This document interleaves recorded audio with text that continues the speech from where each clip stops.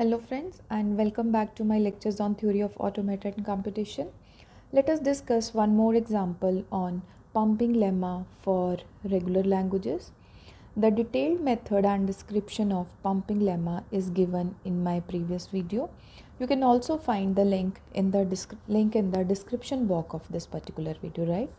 So let us look at the example today. L is equals to a raised to the power n, b raised to the power n, c raised to the power n such that n greater than 0 is not regular, right? So first of all, as already discussed, pumping lemma is used to prove that the given language is not regular, right? Now the given language means that the equal number of A's followed by the equal number of B's followed by equal number of C's and we have to prove that this language is not regular, right?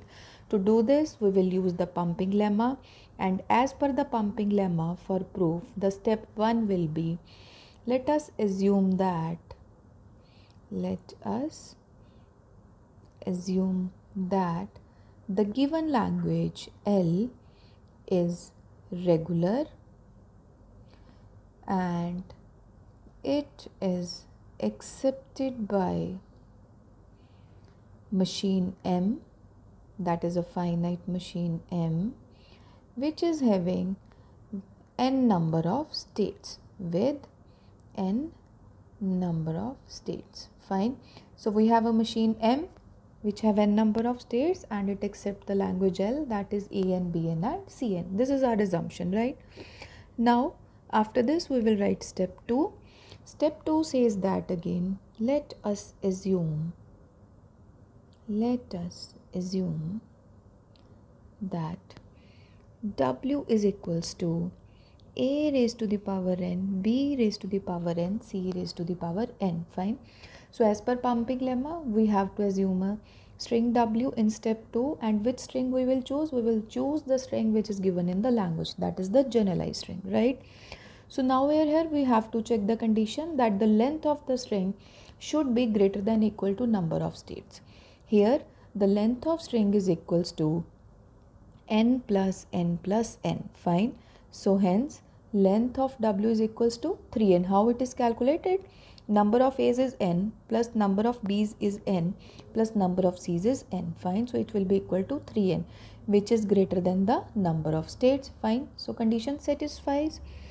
In the next uh, step what we have to do we will have to write w in the form x y and z. That is we have to divide the string into x y and z so how we will do it? We will do it like this. A raised to the power n minus 1 a b raised to the power n c raised to the power n.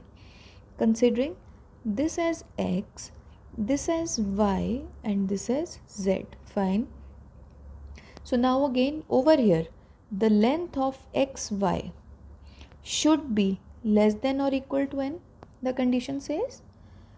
Y should not be it should not belong to epsilon or it should not be equal to epsilon it should not be lambda and there is no restriction on z. Fine. So following the conditions over here if we say the length of xy is what? N. Y is not lambda and there is no restriction on the z. So we are following all the three conditions which were specified by pumping lemma. We already discussed it. You can have a look in the previous video right? So now in the next step step 3 we have to write w is equals to x y raised to the power i z. So it will become a raised to the power n minus 1 a raised to the power i b n c n. Fine. Now for i is equals to 2 for any value of i we have to prove that this string will not belong to l. The string will become an minus 1 a2 bn cn fine. Which will be equal to a n plus 1 b raised to the power n c raised to the power n right? So now how it is formulated basically? A raised to the power n minus 1 concatenated with a raised to the power 2 so it will become n minus 1 plus 2 because the base is same we can add the power. So it will come out to be a raised to the power n minus 1 then bn and then cn right?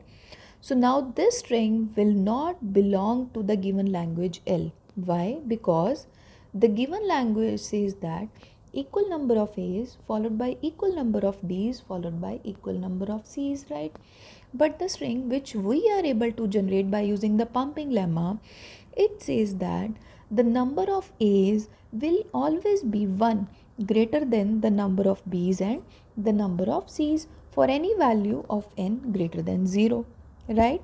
So hence this contradicts our assumption. This contradicts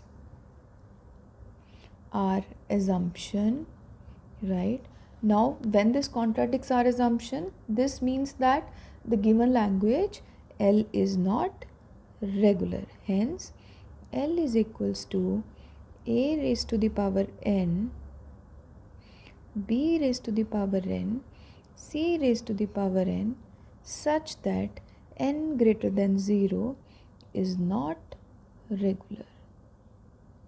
Fine. Hence proved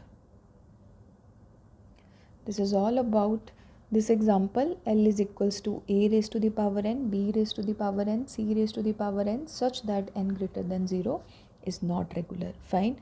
So I hope the example and the proof is clear to you. If you have any doubt or any queries, please mention in the comments below. We will definitely get back to you. Thank you for watching this video.